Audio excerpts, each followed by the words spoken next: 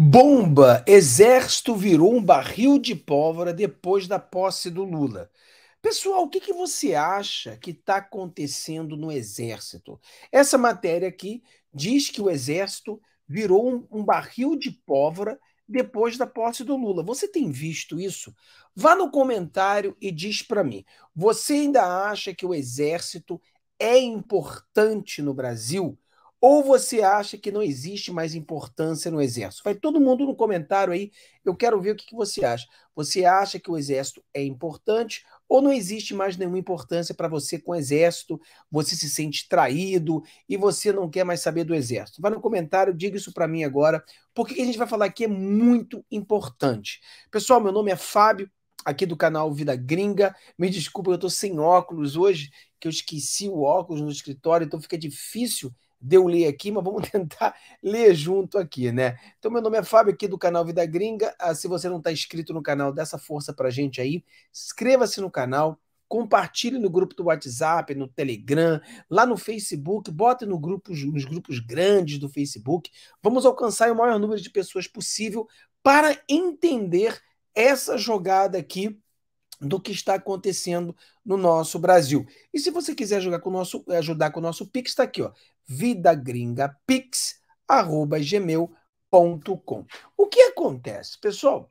Existe uma jogada, eu acredito isso, o Lula veio essa semana dizendo que ele tem orgulho de ser chamado comunista. Então, eu e você, nós sabíamos que Lula era comunista, né? Vários, desde lá dos anos 80, Lula já dizia que era comunista, socialista, mas era um, tinha que criar um socialismo de uma forma diferente, uma forma brasileira de socialismo, todas essas coisas malucas que Lula sempre falou. Lula criou o Foro de São Paulo. Então nós sabíamos que realmente Lula sempre quis implementar o comunismo no Brasil e é que as pessoas, em defesa do Lula, os petistas dizem que Lula ficou no poder durante é, dois mandatos e nunca fez o Brasil no comunismo. Claro, porque querer não é poder. E por que que Lula não fez, não fez com que o Brasil virasse um comunismo? O PT teve no poder quase quatro mandatos. Por que, que o Brasil não virou comunismo? Bem simples, porque o Brasil é um país dominado pelo globalismo. O Brasil é um país globalista. Então, essa é a grande verdade. Você tem, no final do dia, as forças armadas que não permitem com que o Lula faça do Brasil um comunismo. Essa é a grande verdade. Só que, essa vez, as pessoas pegaram raiva das Forças Armadas. As pessoas ficaram com raiva das Forças Armadas, por quê? Porque as pessoas não sei se foram enganadas, ou não sei se as pessoas é, caíram na narrativa das próprias desses militantes aí infiltrados, esses próprios ah, intervencionistas que colocaram na cabeça das pessoas que as forças armadas iriam ajudá-los, criou várias narrativas. Então o negócio, não sei o que aconteceu, mas as pessoas criaram uma expectativa irreal de que as forças armadas iriam ajudá-los.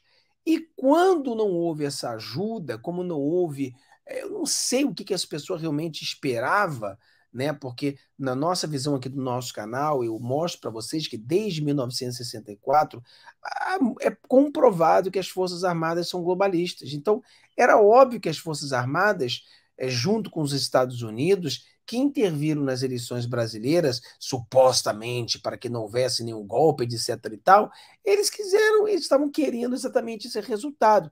Tanto é que os Estados Unidos diz que se decepcionou com Lula. A Europa diz que o Lula é um falso amigo do Ocidente. Ou seja, eles colocaram Lula no poder com a expectativa de que Lula seria um globalista, né? Ou em menos ia fazer a vontade dos globalistas. E o que aconteceu é que não o Lula ele começou a ir para lado do comunista e teve que levar um puxão de orelha. Mas o problema aqui é o seguinte: é que o povo que amava as Forças Armadas, eu não sei por que tanto amor às Forças Armadas, então o povo fez de um extremo para o outro. De muito amor, passou a odiar. Os dois são errados. Você não quer amar as Forças Armadas ah, acima de tudo, como se fosse um Deus, e você não quer odiar as Forças Armadas como se fosse um capeta. Você quer o quê? Estar no meio. Você sabe a necessidade das Forças Armadas para proteger o nosso Brasil. Precisamos ter uma Força Armada grande. Acredito eu que a gente possa ter já condições de ter armas nucleares, de repente até temos armas nucleares, mas é claramente é um segredo. Então a gente precisa das Forças Armadas para que a gente possa proteger o Brasil. Então essa é a primeira coisa. E a maior necessidade atual das Forças Armadas é exatamente essa: proteger-nos de que o Lula não dê um golpe no Brasil. Porque o que, que o Lula fala? O Lula está dizendo que ah, o que aconteceu com a Dilma foi um golpe. Então, o Lula ele tem preparado o Brasil para o caso que ele quiser dar um golpe. O Lula tem preparado o Brasil para isso. O Lula ele tem falado para o pessoal que ele tem orgulho de ser comunista, preparando o Brasil para assumir um comunismo. Só que ele não tem como fazer com as Forças Armadas, porque as Forças Armadas ficariam do lado do, do, do, sistema, do lado dos Estados Unidos, e não iria permitir o Brasil virar um país comunista. Então, é, essa raiva que o povo tem agora das Forças Armadas, ela pode prejudicar muito mais do que ajudar. Olha o que essa matéria diz. Bomba. Exército virou um barril de pólvora depois da posse do Lula. Desligamento de oficiais recusa a solenidades e rejeição ao atual comandante está gerando uma situação caótica, ó, tá ficando caótico. Desde a nomeação do general Thomas Miguel Ribeira Paiva como novo comandante do Exército pelo presidente Luiz Inácio Perdido da Silva, uma situação de caos tem se instalado nas fileiras militares brasileiras, muitos oficiais se negam a cumprir ordens e a tropa demonstra grandes insurgências, gerando um clima de descontentamento, descontentamento generalizado, ou seja, o exército está descontente. Você vê que, por exemplo, querem agora barrar a pensão para os filhos, né? Filhos de, de, de militares, filhas de militares vão deixar de receber pensão. Eu acho meio estranho, né? É, nós, o povo brasileiro, ter de pagar pensão para filhos de militar. Eu não sou de acordo a filhos de militar receber pensão. Me desculpa, mas eu sei que talvez você esteja aqui, você é um filho de militar, você recebe pensão, mas nós temos que entender por que, que um filho do militar tem que receber pensão, né? Então, isso aí eu não sou muito contra isso, não. Quem é que aqui você é contra ou a favor? Fábio, eu quero que a gente, povo brasileiro, continue pagando pensão de filhos solteiros de militar. Fábio, eu sou contra. Então bota aí para a gente ver quem é contra quem é a favor. Segundo informações obtidas pelo jornalista Júnior Melo da Terra Brasil Notícias, a insatisfação com o comando atual tem levado muitos militares a solicitar o desligamento do exército. A fonte revela que, quando o militar de carreira ou temporário se aposenta ou deixa o serviço ativo, é comum realizar uma, uma despedida formal, envolvendo uma solenidade de formatura na qual é lido um breve resumo de sua vida profissional. No entanto, tem sido observado que muitos desses militares têm dispensado ou rejeitado essas homenagens em virtude de seus descontentimentos com a situação atual das Forças Armadas. Ó, isso aqui é grave. Isso aqui é muito grave. As Forças Armadas não estão contentes com o governo Lula. A grande verdade é quem é que está contente com o governo Lula, né? Só aqueles petistas que realmente são fanáticos pelo Lula podem estar contentes com isso. É uma questão de fanáticos ao Lula, porque qualquer pessoa normal não está contente. A rejeição de honrari, honrarias por parte dos militares reflete a falta de confiança e a descrença nas instituições militares após a posse do presidente Lula. A situação caótica do Exército, com oficiais se recusando a cumprir ordens, demonstrando resistência ao novo comando, evidência, uh, evidencia um, crime, um clima de desunião e descontentamento dentro das fileiras. Então, tava que repete mais uma vez que estão não estão contentes, estão ah, muito chateados, o pessoal não tem calma, o pessoal está revoltado com a situação atual. Por quê? Porque nós temos aí a, o budget né, do Exército abaixou, diminuiu a, grama do, a grana do Exército. Você vê o Lula com, trocando todo o Exército. O Lula tem um pensamento de criar uma força nacional. Ou seja, muitas coisas que estão acontecendo que são erradas, né?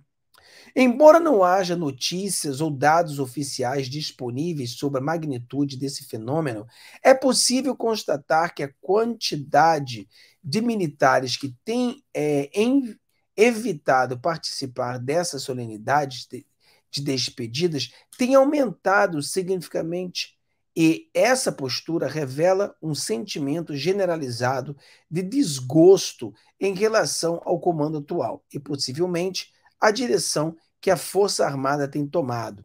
Além da situação caótica do Exército Brasileiro após a posse do presidente Lula, outros fatores têm contribuído para o descontentamento dos militares, a rejeição do presidente e da primeira-dama, Janja, em ter militares em sua segurança pessoal, bem como a retirada de direitos como pensão de filhos, e, filhos de militares e tem gerado desconfiança a desunião nas Forças Armadas. Quer dizer, aqui eles colocam a situação né, da questão de, dos filhos dos militares. Você acha, como eu falei para você, cara, essa questão aqui de tirar a pensão de filhos, né? Eu acho que é o povo que paga, né? O povo tem tá pagando pelas pensões de filho. E um trabalho normal, um trabalho privado, e mesmo outras áreas de trabalho, ninguém paga pensão para filho. Né? Então fica complicado essa desvantagem que tem. Eu acho que realmente os militares têm um salário, os generais, né, os grandes generais, têm um salário totalmente abusivo, salários altíssimos, e toda e ainda você tem os filhos recebendo é, pensão até que se case. Mas os militares, obviamente, isso é um, um benefício deles que está sendo tirado. Então eles estão revoltados com razão, né? Porque é eles que estão perdendo, eles que estão pegando pé da vida, né? Então começa aqui, ó. Rejeição à segurança presidencial. Então você sabe que o presidente quer que a Polícia Federal faça segurança e não as Forças Armadas. Segundo informações obtidas pelo jornalista Júnior Melo, é notável a rejeição por parte do presidente Lula e sua esposa em contar com militares em sua segurança pessoal. Você sabe que a Janja parece que ela que é a manda-chuva, né? Ela que bota o jeans nessa, né? Ela que usa o jeans nessa casa. Ao invés disso, a Polícia Federal tem assumido todo o serviço de segurança presidencial, tarefa que normalmente seria atribuída ao Gabinete de Segurança Institucional. Essa postura tem gerado desconfiança na parte dos militares que se sentem excluídos, desvalorizados do Exército e de suas funções de proteção à tua autoridade. Além disso, o governo Lula tem avançado em medidas que afetam diretamente os direitos dos militares, como pensão para filhos de militares. Essa pensão, que an anteriormente era um direito garantido, está sendo objeto de restrições e reduções. Essa mudança tem causado insatisfação e revolta dentro dos militares que veem seus benefícios, direitos sendo diminuídos, afetando suas condições de vida e bem-estar. A rejeição do presidente Lula é de, e de sua esposa à segurança militar e a retirada dos direitos como pensão aos filhos de militares tem exacerbado o clima de desconfiança e desunião no exército brasileiro. Essas atitudes são vistas pelos militares como uma falta de reconhecimento e valorização de seu trabalho e sacrifício pelo prol da nação. Porra, aqui a gente tem que dar uma parada, né? Que uma, eles não reconhecem a valorização de seu trabalho de sacrifício em prol da nação. Que sacrifício em prol da nação foi esse, né? Eu gostaria de entender aqui da onde eles tiraram essa ideia que eles estão fazendo um sacrifício em prol da nação. Eu não vi nenhum sacrifício quando eles poderiam ter feito, nada foi feito. Então, pessoal, é uma situação que a gente vê o exército sendo sucateado pelo Lula, sendo atacado pelo Lula, e o nosso papel é, como eu falei, não é amar as Forças Armadas acima de tudo, mas nem odiar as Forças Armadas acima de tudo.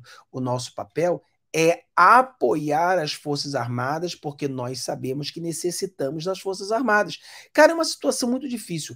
Às vezes, a situação que nós vivemos hoje A gente precisa das Forças Armadas. Se é ruim com eles, será muito, mas muito pior sem eles. Então a gente precisa ser pragmático, a gente precisa ter maturidade política para entender que, ah, mas eu não gosto do que eles fizeram, mas não muda o fato de que o único que pode parar um golpe do Lula no futuro são os militares queira você ou não. Então a gente tem que parar assim para pensar, peraí, se as Forças Armadas acabarem, o que, que vai acontecer comigo? Não é o que vai acontecer com eles, pessoal. Não é o que vai simplesmente acontecer com o Brasil, é o que vai acontecer contigo.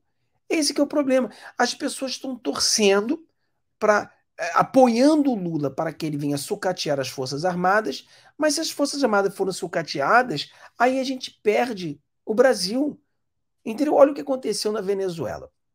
Venezuela, em 2018, né, eu acho que foi o último ano de eleição, foi 2018, e estava tudo pronto para ter uma, uma eleição aonde até mesmo o Maduro tinha concordado que ia ser uma eleição limpa, tudo direitinho.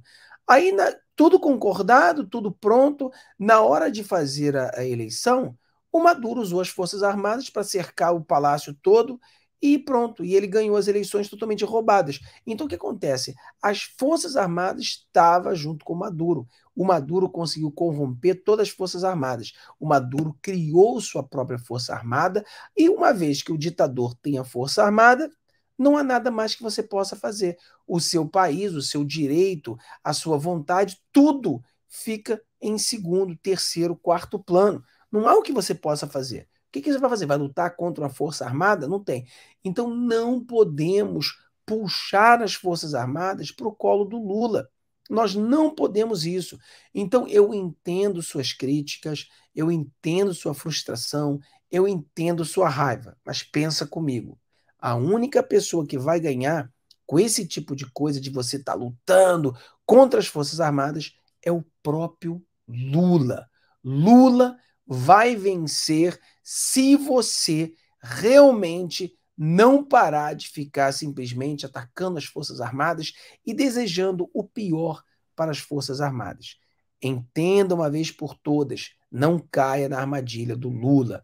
Ele quer que a, a população brasileira veja as Forças Armadas com os olhos ruins, para que ele possa sucatear as Forças Armadas, criar seu próprio exército, sua própria força armada. E aí, quando não tem mais ninguém no caminho, ele pode simplesmente fazer do Brasil um país comunista. Aí a gente está todo mundo ferrado, aí já era o Brasil e a gente tem que abrir a mente para isso. Nós temos que abrir a mente. Ah, não gosto deles, mas eu sei que ele, eles são um mal necessário. Não gosto dele, mas é muito melhor com eles do que sem eles. Não gosto deles, mas eu gosto muito menos do comunismo. E se o comunismo cair, se o comunismo não cair e for para cima e não tiver força armada para pará-los, ninguém pode parar. Ninguém pode parar. Se Lula consegue reformular, quer dizer, reformar a força armada do jeito que ele quer, a gente está ferrado também, entendeu? Então é isso aí, galera. Deus abençoe todos vocês. Vocês tenham um dia maravilhoso. Voltaremos às quatro da tarde para falar sobre assuntos assim mais interessantes também, tá bom? Não esqueça, se você ficou até o final, você é um dos meus. Porque você que fica até o final, você tem a capacidade de entender tudo que a gente fala. Tem gente que fica na live durante dois minutos e quer julgar um vídeo de 20 minutos por dois minutos de fala. Não entendem, não sabem o que falam e nem escutam o que a gente está falando. Então, Deus abençoe a todos. Não esqueça que a gente tem um grupo de WhatsApp que vai estar tá aqui na descrição do vídeo. Se você quiser entrar, entre lá, porque está muito bom o nosso grupo de WhatsApp. Tchau, tchau, um abraço.